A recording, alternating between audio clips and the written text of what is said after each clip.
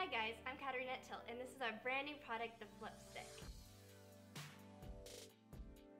It's lightweight and compact for easy storage.